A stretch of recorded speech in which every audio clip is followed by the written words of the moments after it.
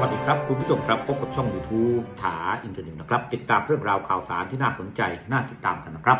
เป็นความเคลื่อนไหวของทางด้าน เว็บไซต์ศูนย์ทนายความเพื่อสิทธิมนุษยชน ได้เปิดเผยบันทึกเหตุการณ์ศาลสั่งจำคุก 6 เดือนเบญจอปัน แนวร่วมม็อบราษฎร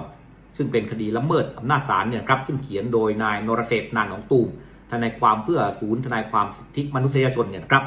โดยส่วนหนึ่งของบันทึกระบุว่าหน้าห้องพิจารณาคดี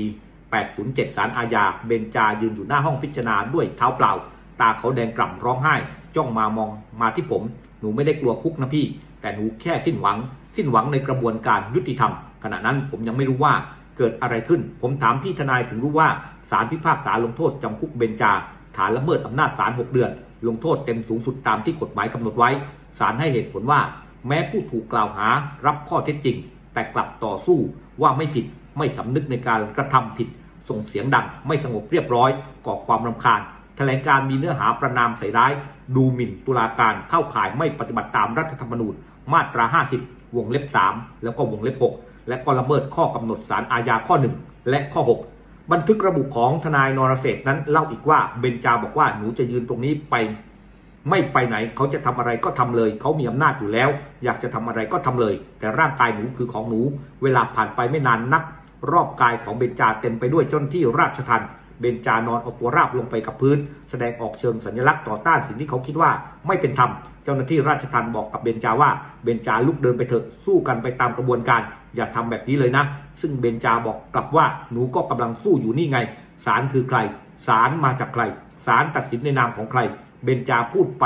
พลางร้องให้ไปก่อนที่เจ้าหน้าที่ราชทัณฑ์หลายคนจะอุ้มเบนจาขึ้นรถเข็นไป นี่ครับนี่เป็นความเคลื่อนไหวของเบนจานะครับหลังจากที่เธอนั้นเนี่ยถูกศาล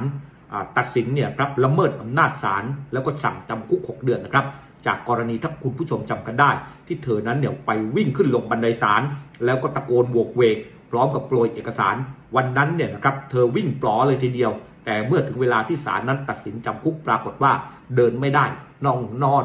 นอนต้องนอนแนบกับพื้นนะฮะแล้วให้เจ้าหน้าที่นั้นมาอุ้มไป ก็น่าจะสักสองครั้งสองคราแล้วที่เห็น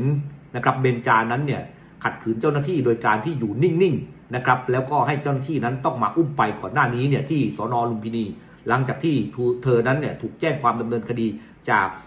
สถานีตำรวจอื่นเนี่ยนะฮะแล้วก็ต้องมารับตัวไปจากสนลุมพินี เธอก็อยู่นิ่งๆ แบบนั้นนะครับแล้วก็ให้เจ้าหน้าที่ตำรวจนั้นอุ้มไป คราวนี้เจ้าหน้าที่ราชทัณฑ์นั้นก็ต้องมาอุ้มเธอขึ้นรถเข็นเพื่อนำไปสู่ ทันทสถานหญิงเนี่ยนะครับในการที่จะดำเนินคดีกับเธอ แล้วก็ฝากขังเธอ ในการที่ให้เธอนั้นต้องอยู่ในเรือนจำเป็นเวลาอย่างน้อยตอนนี้เนี่ยครับติดคุกแน่ๆ6เดือนครับ